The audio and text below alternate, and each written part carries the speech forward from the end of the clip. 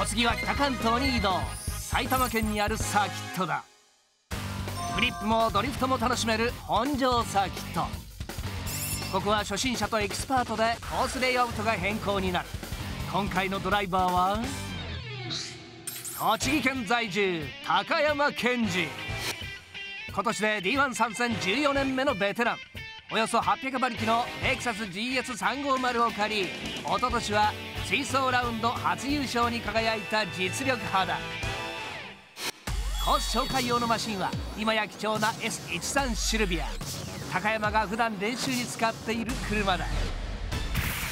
初心者が本場を走るポイントとは？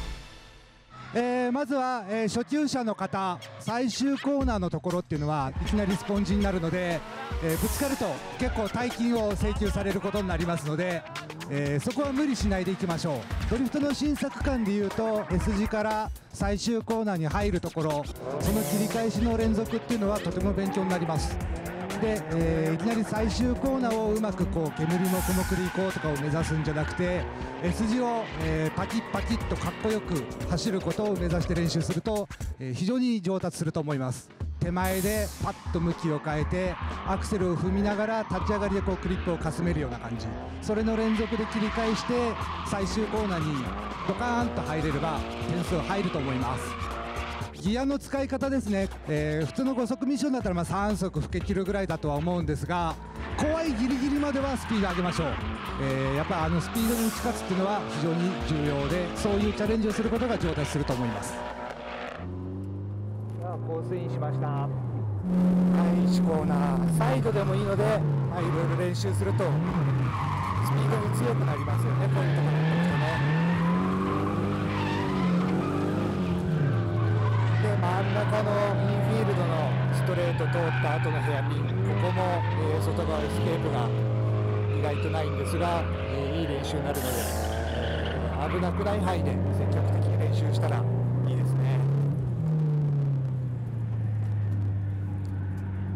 まあ、初心者の方はスピードは無理せずでも入り口でしっかり持ち替えてできるだけ早めに振り返す最終コーナーはできるだけスピードのかかるように立ち上がっていきます。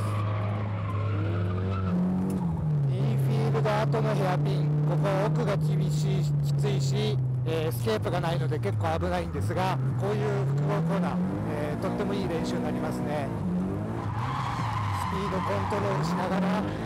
奥のきついところにちゃんとクリップついていくようないい練習になります。立ち上がりを考えながらきるだけしっかりアクセル踏んで S 字、まあ、8の字をやってるような感じですね。初心者はサイド進入でもいいですね。ただできるだけ早く向き変えて加速するイメージを持ちましょう。本庄のドリコンで上位を狙える走りとは？上級者の方、えー、当然あの立ち上がりでスポンジのそばをアクセル踏み切りで行くのはとても大事だし、えー、かっこいいポイントなんですがそこに集中するとはまってしまいますこのサーキットは。やはり一番大事なのは S 字の切り返しと最終コーナーに向けて最後の飛び込む、えー、姿勢の作り方、え、そこでアクセルを踏むのがいかに速いか。ここがとても大事になります、え、シフトアップも S 字をちゃんと走って最終コーナーに姿勢がスパーンといくと多分無意識にシフトアップできるはずです。なのでシフトアップするために、えー、中途半端な振り返しをするとうまくいかないので、え、シフトアップできないならできないで割り切っちゃいましょう。えー、クリップの話なんですが、えー、S 字のクリップはやっぱりあの外すとかっこ悪いですね。縁石にフロントタイヤが触るぐらいは、え、近寄ってほしいところです。で最終コーナーに向けては僕個人の意見なんですが、えー、クリップ云々とかよりはこう S 字から流れるように早く踏んで踏み切っていけるラインでいけばどれも正解だと思っています。ここでやるドリコンの場合、えー、ここのショートカットの辺り使ってスタートして S 字の進入スピード、えー、速めていく審査も多いですね。ただまあやり方一緒ですね。まあね、こういう S 字をリズミカルに速く抜けると、えー、とてもかっこよく見えます。上級者になったらして入るような感じにはなります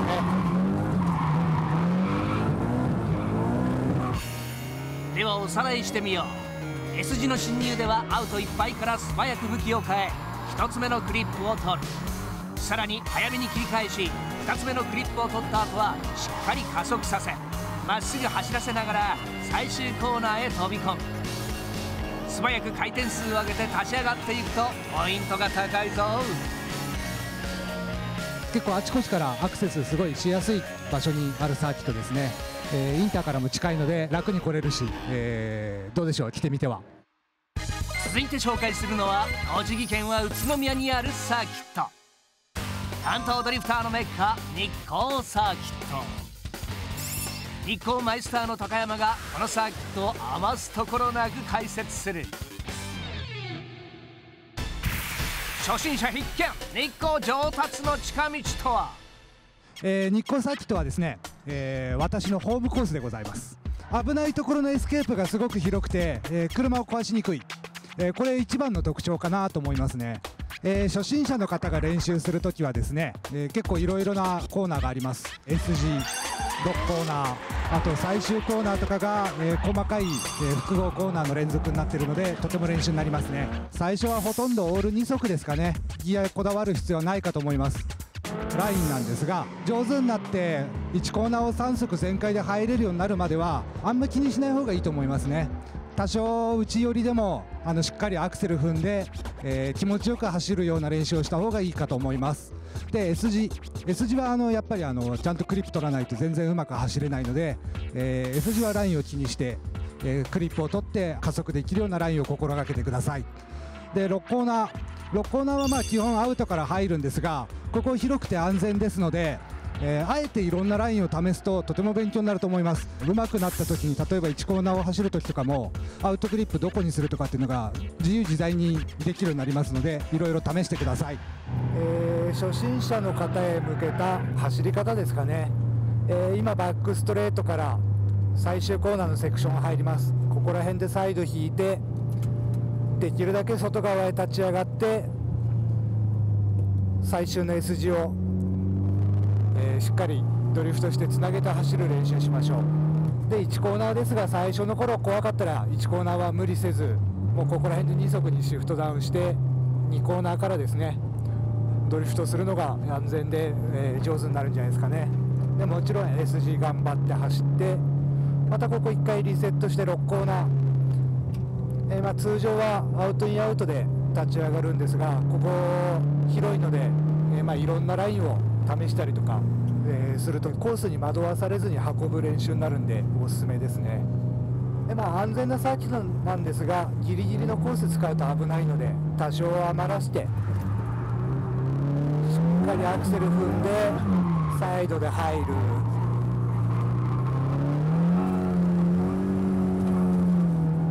こんな感じで練習できれば、えー、いいんじゃないですかね。で1コーナー無理せずにコーナーでサイド引いて S 字まで走る。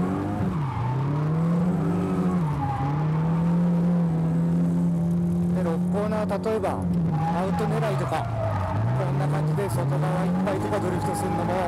えー、いろんないい練習になりますね。これをマスターすれば上位入賞間違いなし。なんといってもですね上級者になるのなった時に大事なのは最終コーナーの出ですね。コーナーを飛び出てから角度を増やすんではなく、えー、最終コーナーのクリップあたりではもう角度が1回ついてその後は角度が減りながら加速していく。審査員席からあんま見えないかと思いますが実はねすごいよく見えるんですよ。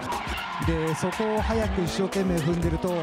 あの自然とその後もかっこよく見えます。で1コーナーの振り出しなんですが一気にパキッとフルカウンターまで当てるのが必要になるコースですね。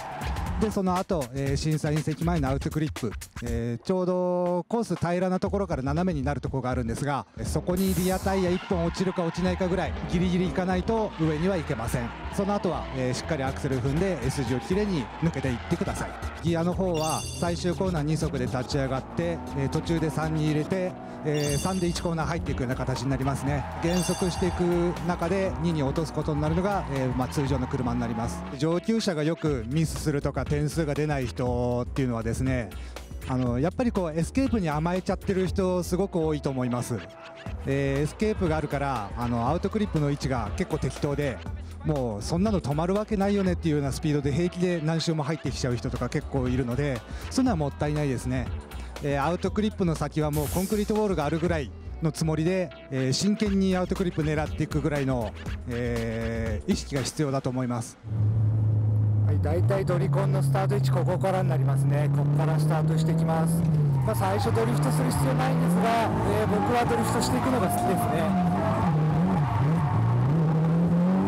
ここスピードうまくドリフトしつつ乗っける。ア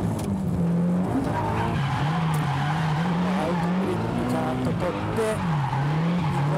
あんま意識しないで参考なクリップから切り返してしっかりクリップで外を行って角度足して6コーナーやアプローチ、まあ、基本的なラインはこんな感じですかね、えー、最終コーナードリフトしない走りもよくありますね。結構外目で向き変えてクリップの手前から向きは変えるけどスピード乗せるのが大事です。フェイントかけて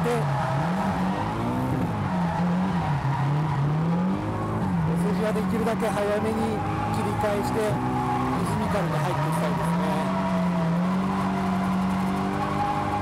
今のは結構うまくいきましたね。最後に高速コースの楽しみ方を高山に紹介してもらおう。6コーナーを抜け加速してクラッチ蹴りで進入。審査席を抜け外側いっぱいまで膨らみタイヤを落とす。そしてワンジを切りながら最終コーナーへ入っていく。これが有名な日光裏散髪だ。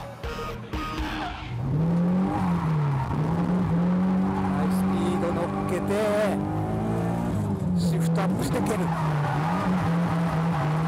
外側の縁石の向こう結構低いんでここは要注意ですね。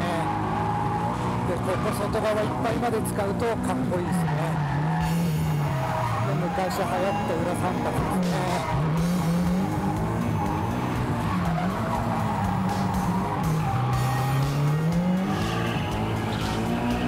こんな形ですかね。はい、えー、僕の練習車シルビアでの、えー、ホームコース日光の走りいかがでしたでしょうか、まあ、僕のシルビアですね。280馬力、えー、これぐらいの車でこんぐらいの走りはできます。なので、え、皆さんの車でも、え、こんぐらいは軽くできると思いますので、えー、ぜひ頑張って練習してください。